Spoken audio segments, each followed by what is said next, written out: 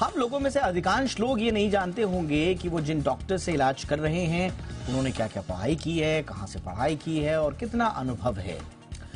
मगर आने वाले दिनों में ये जानना मुमकिन होगा। हालाँकि ऐसा नहीं है कि जो हमारे हॉस्पिटल्स हैं, वहाँ पर बिना अनुभव देखे, बिना क्वालिफिकेशन देखे डॉक्टर्स को रख लेते हैं।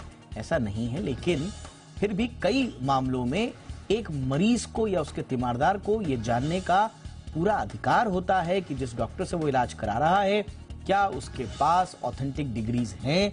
क्या उसके पास वो वाजिब अनुभव है जिसका वो इलाज कर रहा है या नहीं? और कई मरतबा ये जानकारी साफ़ साफ़ मिल नहीं पाती। इसीलिए सरकार नेशनल मेडिकल कमीशन यानी कि एनएमसी के तहत एक रजिस्टर तैयार कर रही है, जहाँ पर डॉक्टर्स की पूरी जानकारी होगी। और यही नहीं, नए नियमों के मुताबिक अब सभी डॉक्टर्स को प्रैक्टिस करने के लिए नेशनल एग्जिट टेस्ट यानी कि नेक्स्ट को क्वालिफाई करना भी अनिवार्य होगा। सरकार का उद्देश्य फर्जी डॉक्टर्स पर लगाम कसना है और साथ ही इलाज की क्वालिटी को सुधारना भी है। आज हम एनएमसी के इन्हीं नियम, नए नियमों को विस्तार से समझेंगे उन पर चर्चा करेंगे।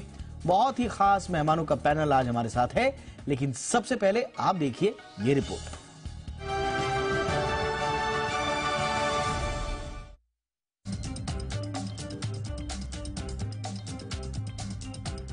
कोई मरीज़ अगर अपनी किसी गंभीर बीमारी का इलाज किसी डॉक्टर से करा रहा है तो ज़रूरी नहीं कि वो डॉक्टर के बारे में सब कुछ जानता हो। मसलन उसने कहाँ से पढ़ाई की क्या क्या पढ़ाई की, उसकी विशेषज्ञता क्या है या उसे कितना अनुभव है? लेकिन नेशनल मेडिकल कमीशन यानी कि एनएमसी के नए नियमों के तहत मरीज़ अपने डॉक्टर्स की पूरी कुंडली जान सकेगा। इससे मरीज़ को अपना इलाज कराने में काफ़ी मदद मिलेगी, क्योंकि नेशनल मेडिकल कमीशन एक कॉमन नेशनल मेडिकल रजिस्टर तैयार करेगा, जिसमें डॉक्टर्स की पूरी डिटेल दर्ज होगी। वहीं अब डॉक्टर्स को नेशनल एग्जिट टेस्ट यानी कि नेक्स्ट पास करना अनिवार्य होगा। ये नियम केवल भारत में पढ़ाई करने वाले मेडिकल छात्रों पर ही लागू नहीं होगा, बल्कि विदेश से मेडिकल की पढ़ाई पूरी कर देश में प्रैक्टिस करने वाले डॉक्टर्स को भी इस नियम कायदे के दौर से गुजरना होगा। कोई भी नेशनल मेडिकल रजिस्टर में दर्ज डॉक्टर्स की पूरी डिटेल नेशनल मेडिकल कमीशन की वेबसाइट पर देख सकता है। इसमें डॉक्टर का नाम, तारीख के साथ साथ रजिस्ट्रेशन नंबर पिता का नाम, काम करने की जगह, जिसमें राज्य, शहर, संस्थान जैसी डिटेल शामिल होंगी। इसके अलावा नेशनल मेडिकल रजिस्टर में डॉक्टर की अतिरिक्त योग्यता, उसकी मेडिकल पढ़ाई से संबंधित विवरण जैसी ज़रूरी जानकारियाँ भी मौजूद होंगी। नेशनल मेडिकल रजिस्टर में पंजीकृत डॉक्टर को देश में प्रैक्टिस करने का लाइसेंस केवल पाँच साल के लिए वैध होगा। ऐसे में डॉक्टर को हर पाँच साल बाद स्टेट मेडिकल काउंसिल में अपना लाइसेंस रिन्यू कराना होगा।